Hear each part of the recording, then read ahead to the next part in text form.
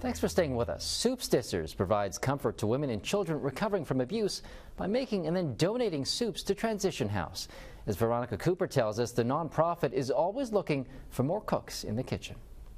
And don't be shy, come up to the front so everyone can see. Hopefully you can Chef Dave is welcoming volunteers who've come together for an evening of cooking at Camosun College. So the goal of tonight is to create five different soups, one which we'll enjoy at the end of the night. The other four soups, totaling 80 or 90 litres, And we just slice it in half, will be donated to Victoria Women's Transition House. and it's that easy. They are often dealing with so many different issues and just processing the emotions that come with having experienced trauma. And so to have a bowl of homemade, nourishing soup that they know has been made by the community with love means the world to these women. The concept of gathering volunteers to make soup for those in need began in Calgary in 2009. Victoria's chapter started in 2011. If you think about how nurturing a bowl of soup is and you know just going into the freezer in the transition house and being able to sit down and have a bowl of soup together our founder sharon hapton in calgary calls it a hug in a bowl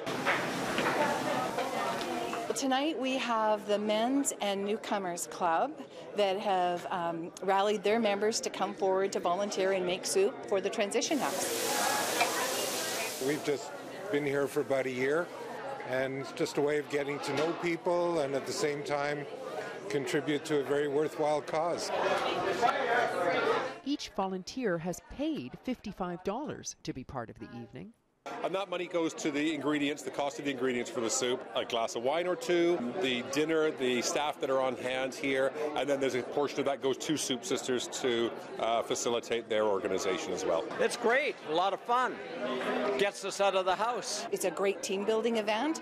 We've had birthday parties, we've had Rotary clubs. The organizer and his wife are the only two I'd met before, so it's nice for meeting some new people and having some fun. Soup Sisters offers this event once a month for up to 24 people. You can register through the links tab on our website. It's getting together and doing good work and having fun at the same time.